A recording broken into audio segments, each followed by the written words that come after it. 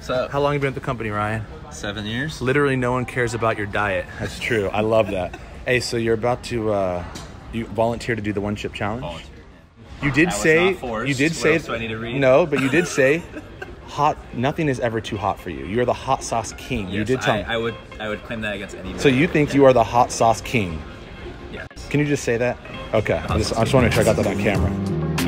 Because we're gonna put on gloves. Trust me. Ryan, from day one, always used to eat hot wings. By the way, they sold out of these in like one day. Seventy-five dollars now, so be careful. All right. So, any any words you want to say before you start?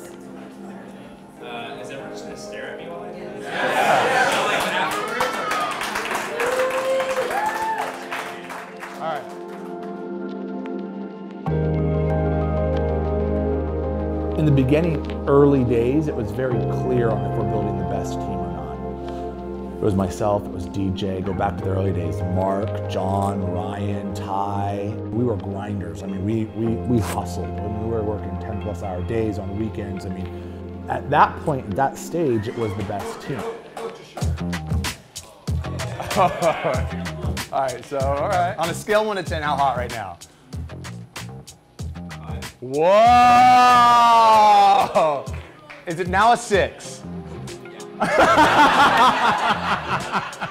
Working with Tyler over these years has been really helpful. I've grown, and he would tell you this too, as a person, crazy velocity as far as my growth as a starting out someone who's really shy and then becoming someone who could sit here on camera.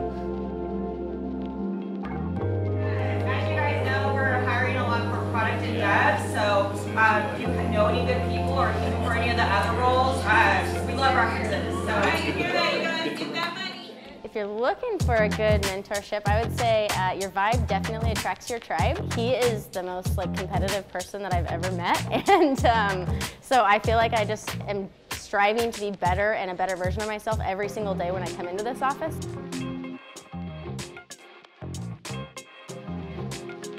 You're trying to become a better person overall with a mentor. At least that's my objective, right?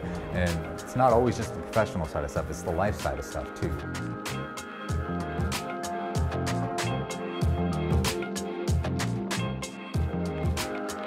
You know, we're fast growing. We're not some big corporate conglomerate. We, we got to move fast, and we can't have to slow us down at the scale that we are at and where we're going. It's so important to have great leadership. I've had to take a seat back as we've grown. How do I mentor, coach, develop our leaders? to you. I think about you know growing up in life and all the mentors that that helped me get to you know where I'm at, where I am today, and, and so I think it's important to connect with them. I think it's important to write notes. Koji came to us and said, I want to, you know, get leadership coaching and, and, and courses and classes and, and have somebody on site that can help with this who's done it. We found someone who has experience with startups, experience with CEOs and COOs and founders like DJ and myself. Um, on that offsite, we learned about a lot of different things, communication, how to be above the line opposed to below the line. When people are above the line, they believe that learning and growing are more important than being right.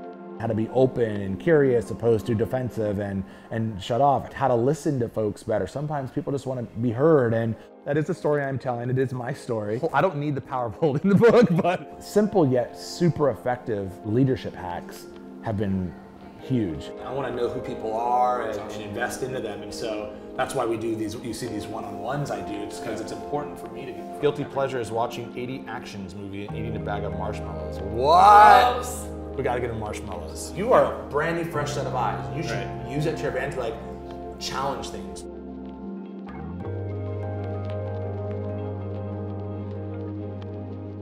Uh, this Wednesday we had an agent feedback event. We had about 40 agents here. I think we do want to do this a lot more often too, and getting more clients in here so we can we can get um, more feedback more often. Obviously, Skyfield wants to be a household name in that department, so working with them to kind of do like promotions, uh, maybe host events with them. We're have five new hires start within the next two weeks, so we're super excited to grow our team and you know have them help out. Uh, as of this week, support, and this is really a testament to how hard we work getting shit done. We hit our millionth ticket in Zendesk.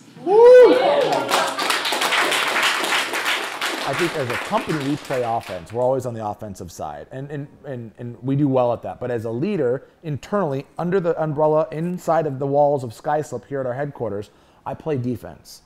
And, and I removed what I call the PB and J, you know, the processes, the bureaucracies, and the jams. Because my goal is if I play good defense for them in these walls, they have a clear path to go down and score a touchdown. And scoring a touchdown for the leader here is having a, a, a, highly productive team, a team that's happy, that loves what we're building and the culture that we provide here. And it's just like when I was in real estate, you know, the first thing my coach told me was like, you got to do everything to get that listing appointment. And once you get the listing appointment, that's just one section you own. Now, you got to think you have to have every tool in your toolbox to get the listing signed. So it's like, how do we get new recruits where they walk through this and they feel like, I got to work here? we're selling the dream, right? What's the story that we tell?